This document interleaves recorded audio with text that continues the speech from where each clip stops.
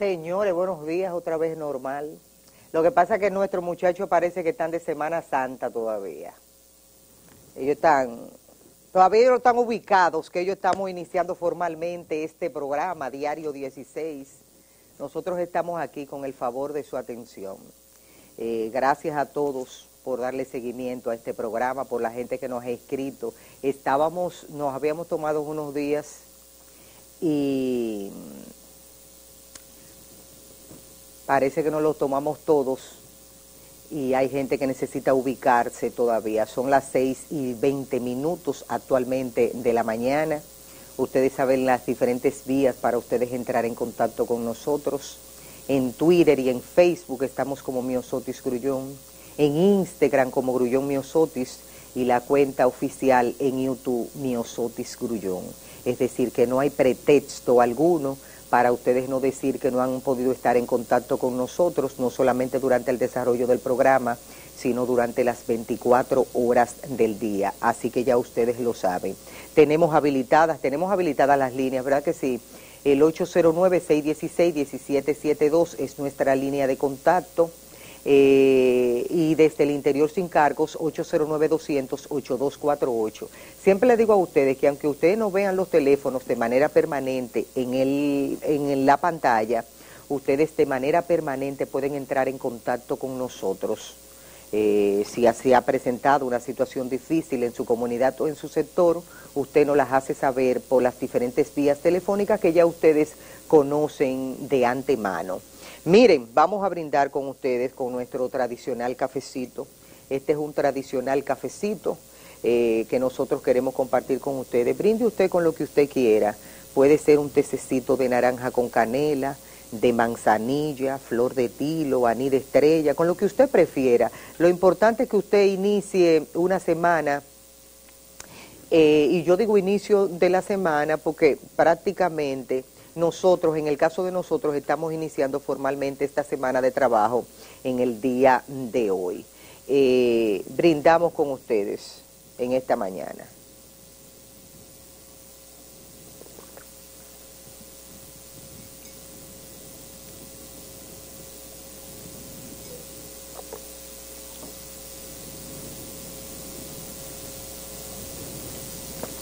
Ustedes ven a esa cuenta Noticias 16, que está en la pantalla, noticias16.com.da.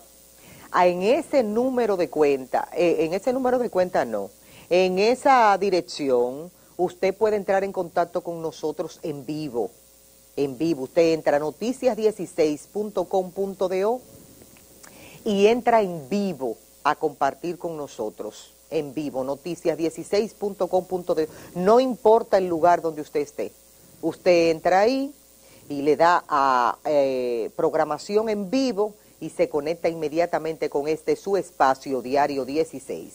Vamos a iniciar básicamente eh, con lo que traen los diarios de circulación nacional en esta mañana y yo voy a iniciar porque en este martes 23 de abril el COE reporta 33 muertes en la Semana Santa, tres más que en el año 2018. La entidad reconoce 18 fatalidades, porque de esos 33, eh, ellos dicen que básicamente dentro de su operativo que ellos organizaron fueron específicamente 18, no los 33. Es decir, que ellos dicen que esos restantes están fuera del operativo, pero independientemente a que si dentro o fuera del operativo, hay que decirle que murieron en esta Semana Mayor, en esta Semana Santa, 33 personas. 33 personas tres más que en el año 2018. La entidad reconoce 18 fatalidades durante el periodo del operativo y 15 fuera del mismo. Los accidentes de tránsito se redujeron en un 75% y solo dos personas murieron ahogadas. Recusan por séptima vez al juez del caso Odebrecht. Van siete veces. Van siete veces. Por séptima vez recusan al juez del caso Odebrecht. Me, me pasa mi, mis auxiliares. Eh, dice que aquí esta vez por un incidente con los abogados de Conrado Pitaluga, que hubo una situación complicada y difícil ahí, entonces por séptima vez recusaron al juez del caso Odebrecht. Ahí está. Otra de las informaciones en este martes 23 de abril habla de que los danilistas creen que la iglesia apoyaría la reelección y las encuestas dan números parecidos a Luis, gracias eh, doctor, eh, a Luis Abinader y a Leonel Fernández. El estudio se hizo con sondeos realizados entre el año 2017 y 2019. Los productos salen más baratos en mercados, esas son parte de las informaciones de interés y finalmente otro acuerdo levanta el paro en Punta Catalina. Los empleados de Punta Catalina se alzaron. Oigan esto, los trabajadores del consorcio Odebrecht eh, que laboran en la construcción de las plantas de Punta Catalina levantaron la tarde de ayer la protesta que realizaban desde la mañana en la obra. El paro se realizó en rechazo a un acuerdo logrado el domingo y que incluía el pago de un incentivo por conclusión de la obra equivalente a un salario y que sería dado en dos partidas. El levantamiento de la protesta se produjo luego de que el presidente de la Confederación Nacional de la Unidad Sindical CENUS, Rafael Abreu, se reuniera con representantes del sindicato y con ejecutivos del consorcio. Esas son parte de las informaciones de interés que traen en portada los diarios de circulación nacional. Hay muchas cosas que es justo y necesario compartir con ustedes en esta mañana. Habla de que el mercado laboral del país demanda de nuevas profesiones, la tecnología ha abierto nuevas fuentes de trabajo para mayores posibilidades a los jóvenes y a los emprendedores. Punta Catalina militarizada por la protesta tras un paro se llegó a un acuerdo sobre el pago de los bonos. Se le dijo a esos empleados que no habían bonos y se regaron, ya tú sabes qué lío hubo ahí. Y entonces hubo que militarizar y tras el paro se llegó a un acuerdo sobre el pago de los bonos. El gobierno tiende puente con la iglesia. Peralta indica que las autoridades son respetuosas de las críticas del sermón de las siete palabras y casi la mitad de los matrimonios se divorcian. Hubo en la actualidad 316 mil matrimonios y se separaron 140 mil parejas. Ya ustedes saben. Usted está escuchando, doctor. Divorcio y divorcio. 140 mil parejas se separaron como parte de las estadísticas y el juez de la Suprema Corte de Justicia recusado por séptima vez. Siete suicidas provocan los ataques en Sri Lanka. Eso es increíble lo que pasó en Sri Lanka. Actualmente van más de 500 heridos. Un empresario, uno de los empresarios más ricos de la zona, perdió tres de sus cuatro hijos. Estaban vacacionando en uno de los hoteles de lujo donde colocaron donde colocaron eh, donde fueron a, inmolarse aprovecharon las ocho y pico de la mañana ocho y pico de la mañana que se dio un desorden enorme. Eh, eh, la persona se presentó.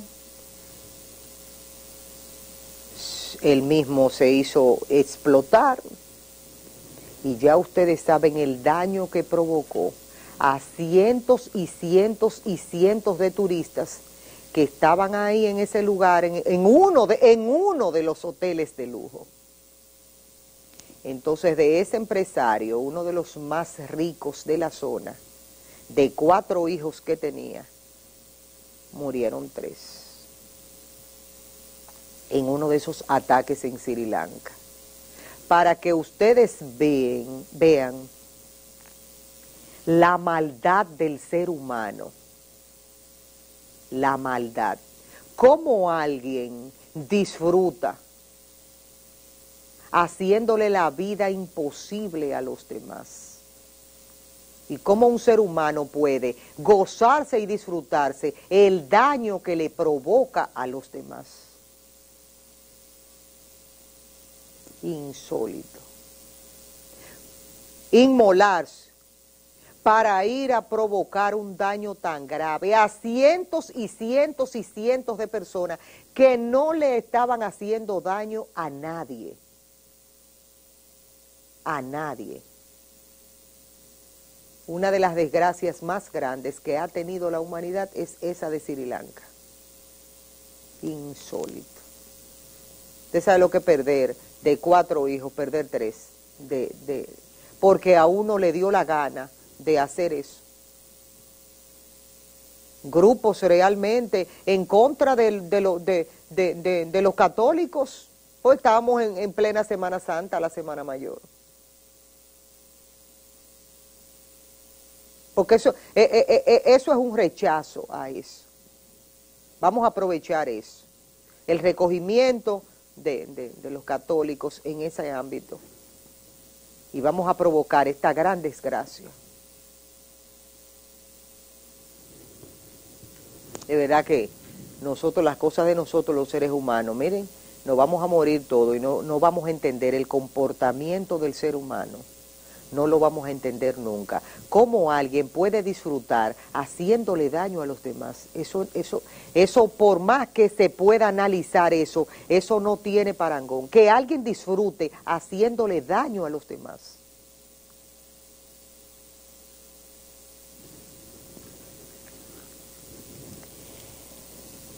Todo esto forma parte de las informaciones de interés de lo que traen los diarios de circulación nacional. Miren, yo necesariamente tengo que tratar en este programa esta situación de la iglesia. Y los diarios lo, han recogido, recogido la información cuando dice hoy, en este martes, martes 23, ¿verdad que sí, doctor? Martes 23 de abril. Dice, el gobierno tiende puente con la iglesia. Pónganle atención a esto que yo voy a compartir con ustedes.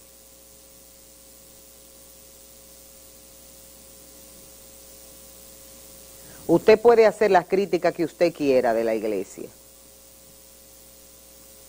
pero este es un pueblo, el pueblo dominicano, eminentemente cristiano, eminentemente cristiano.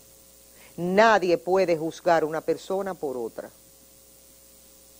Nadie puede juzgar una persona por otra.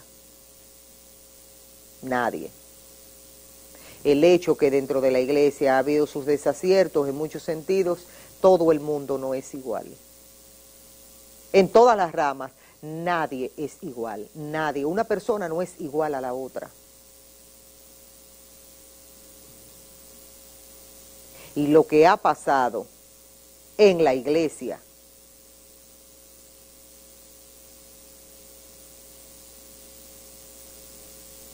con relación a los pronunciamientos que hizo el obispo Soria,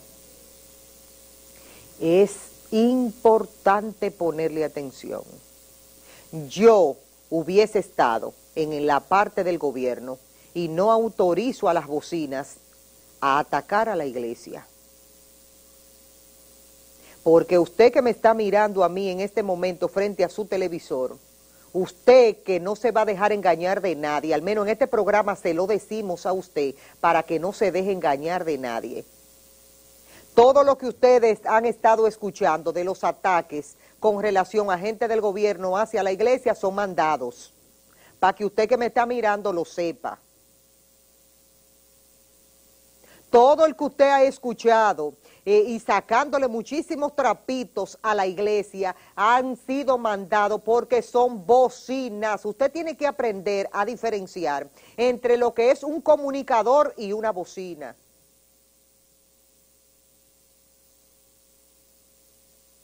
Entonces esas bocinas que están ahora hablando muchísimas cosas de la iglesia, todo el que está en la iglesia no es igual. Una persona no es igual a la otra. Una persona puede ser en un grupo bandida, pero no todo el mundo es bandido.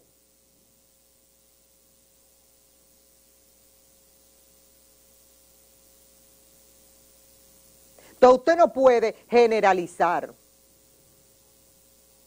porque no está correcto. Pero como son bocinas, el que es bocina es bocina y recibe cuarto por ser bocina. Porque el ser bocina no es gratis. Esas bocinas que andan por ahí no es gratis. O están ubicadas en un puesto, o le dan un paquete o 30 o 40 o 70 anuncios, o le mandan un trabajito a su oficina, encárgate de tal cosa. Sácamele los cheques a fulano.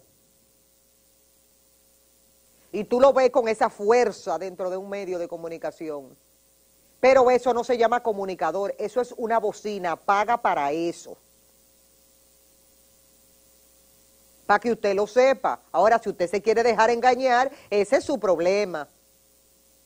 Ahora, nadie en, en la historia de este país ha podido atacar la iglesia y quedarse limpio.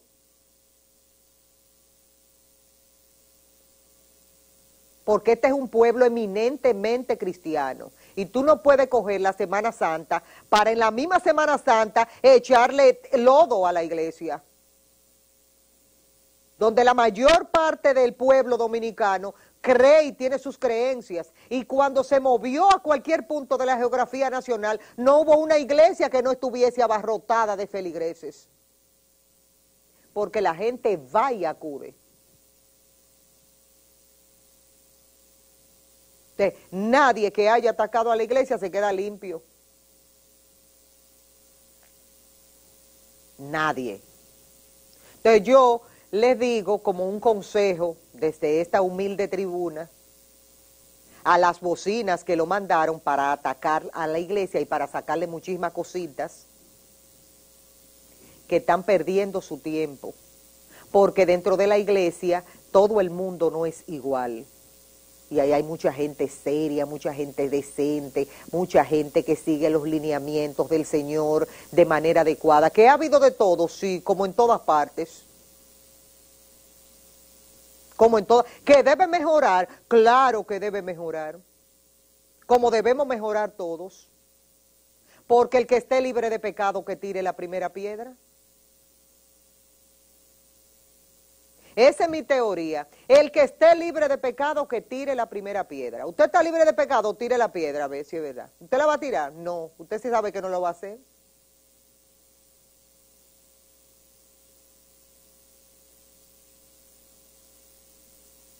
Entonces, a los que cobran por servir, por hacer su servicio de bocinas, no pierdan su tiempo con sacarle y estarle sacando cositas a la iglesia. No pierdan su tiempo ahí. Porque la gente no va a dejar de creer. Y este es un pueblo creyente. La gente no va a dejar de creer. Pues la gente sabe que, que Dios existe. Ahora, usted no quiere darle la gana de creer y usted es escéptico y dice, ay, qué sé yo, qué me importa, viva como usted le dé la gana. Cuando le llegue lo suyo, usted va a clamar a quién, porque la gente, tú ves muchísima gente, dice que yo no creo en Dios, que yo esto, que yo aquello, y desde que se enferman, ¿eh, doctor? Dios te da un ramplimazo así, fuapiti, y te da lo tuyo, y tú de una vez estás hincado orándole al Señor. ¿Usted, usted no lo ha visto, doctor? Muchísima gente dice, yo Dios tal cosa, yo no voy a la iglesia arimatao, yo tal cosa, yo esto. Y desde que le sale un cáncer ahí, ¡pra! están a los pies del Señor, orándole y pidiéndole al Señor que lo sane. Entonces no deberían pedírselo al Señor porque no existe. ¿Qué usted cree que me está mirando? Y cuando están en su lecho de muerte, ¿a quién es que tú le estás pidiendo? De que a, Dios, a, quién es que tú le estás pidiendo salud y que te ayude y que esto, que lo otro? A Dios. Eh, eso que tú lo ves eh, poniendo Twitter y hablando disparate por radio y por televisión, que mucha plepla que hablan porque tienen los bolsillos llenos de cuarto de todo lo que le dan para hablar tú esa plepla. Eh, no encuentra mucha gente que se lo diga, pero yo se lo digo. Y se lo voy a decir siempre mientras pueda. Los bolsillos llenos de cuarto de todo lo que le dan para hablar tú esa plepla. y ahora se han puesto a sacarle cositas y la eh, que hicieron esto, que han hecho esto, que han hecho lo otro, que han hecho tal cosa, que han hecho esto. A la hora que una hija se le enferma, o que a ellos mismos van al médico y usted, mire, usted tiene tal cosa, son los primeros que están hincados pidiéndole al Señor, dame salud, mi Dios. Pero no deberían porque no existe para ellos. Ellos, dicen que no existe. Y que el que va a, la iglesia es un loco. Porque los únicos cuerdos son la bocina. La bocina, son los únicos que tienen los cinco sentidos bien puestos. Después todo lo demás son tontos e idiotas e estúpidos. De la gente que cree, usted sabe que el otro es estúpido. Entonces, mi teoría es, ¿cuántas veces yo no le he dicho a ustedes? La mayoría de los que ha estado hablando, que, que tienen su derecho, pero no lo hagan en Semana Santa. Abusadores en la Semana Santa, tú vas a aprovechar la Semana Santa para, para decirle que ha bajado la cantidad de gente que acude a las iglesias y que de tal porcentaje, la misma Semana Santa, ¿y por qué tú no lo hiciste en otra época? de la ¿Por qué no esperaste el Día de la Madre? Debieron haber esperado el Día de la Madre. En Semana Santa, un pueblo eminentemente cristiano como este es un abuso.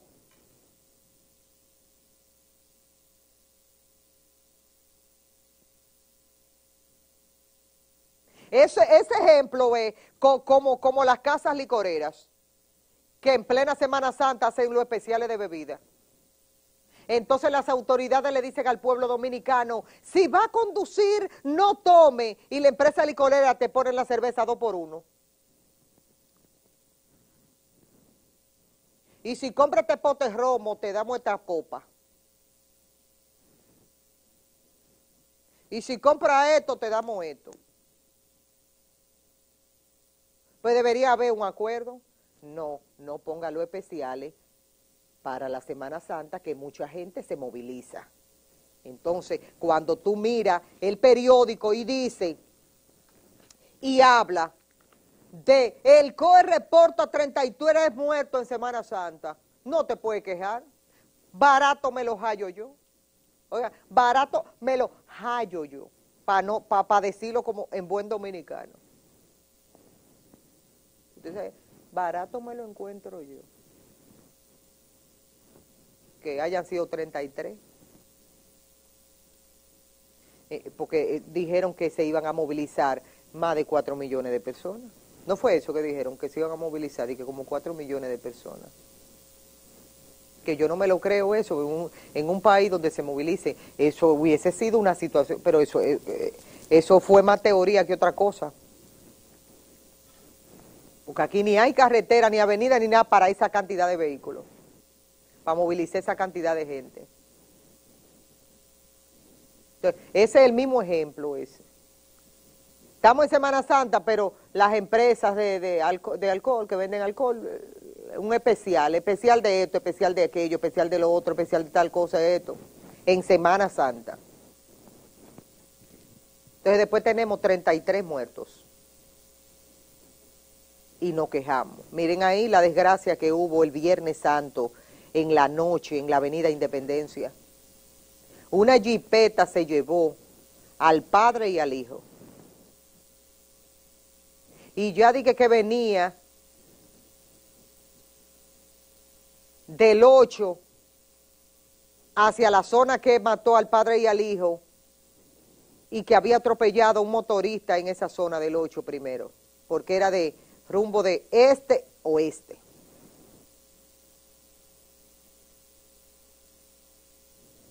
Que iba de que a exceso de velocidad. Para tú perder juicio, o estaba eh, con bebidas alcohólicas o estaba con otra cosa. Eso tendrían que determinarlo las autoridades, pero ustedes saben que esa persona no lo detuvieron en el mismo momento, sino que fue después.